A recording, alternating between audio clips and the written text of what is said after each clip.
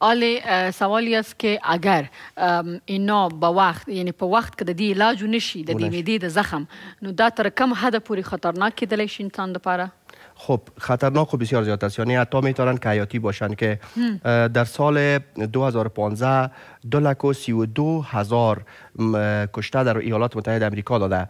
امی خونریزی های شدیدی که از میده بوده و کنترل نشده.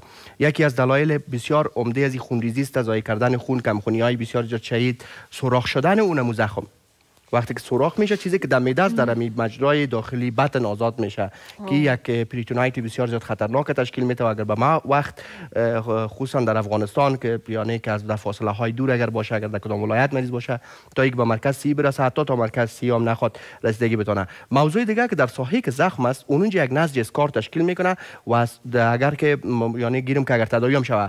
حتی پسان می‌تونه که یک قسمت از این مجرای میدیمایی تنگ بسازه.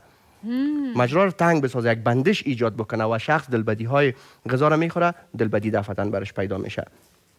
همون چیز که خورده خورده خورده پس می‌کشه کلش. اینی گپای می‌تونه که در کل در اگر که مریض درست تداوی نکنه این مشکلات هم می‌تونه. حتی اگر باز مرض اچ فعلا تحقیقات نشان میده که یکی از عاملین سرطان های معده و همچنان در قسمت دیگه سرطان ها هم نقش داره. بنابراین اگر H بود باید تداوی شود. و متاسفانه H حال بسیار زیاد مقاوم شده قابل یادآوری است که H بسیار تداویش مشکل شده. با دواهای معمولی و سابقه که می‌گیره مریضا هیچ جواب نمیده. باید رژیم های تازه و رژیم های جدید مطابق guideline های 2019 ما باید مریض خود تداوی کنیم. در غیر از او H pylori نمی‌تونه دوا مریض خورده میره جور نمیشه. خورده میره خوب نمیشه. وقت مریض ضایع پول مریض ضایع خودش ضعیف و یکی از دواهایش است از اچپایری که حتی میتونه که سبب تکانهای قلبی هم پیش شخص شوه و حتی او تکانهای قلبی بانه برشته آینده یعنی دا دا چې د معدې زخم چې دی هغه که موږ په وخت باندې دی علاج ونه کړو ان تر سرطان پورې رسیدلی شي. صحیح ده